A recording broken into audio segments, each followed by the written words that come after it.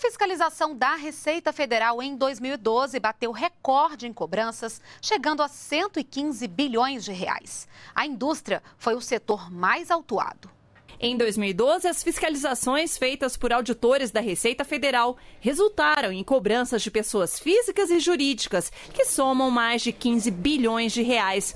O valor recorde é 5,6% maior que o registrado em 2011, quando o chamado crédito tributário totalizou 109 bilhões e 600 milhões de reais. Na instituição do crédito tributário, nós dizemos ao contribuinte aquelas infrações que nós detectamos ao longo do ano.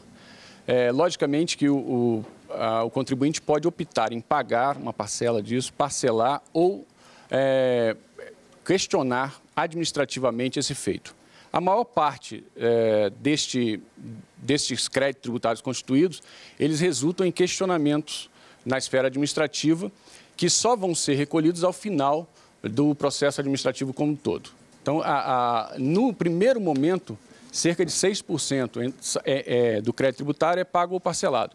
Mas a maior parcela dele é questionada administrativamente e só ao final que nós conseguimos detectar o valor. 70% do imposto devido em 2012 foi cobrado de grandes empresas. As autuações somam mais de 87 bilhões de reais.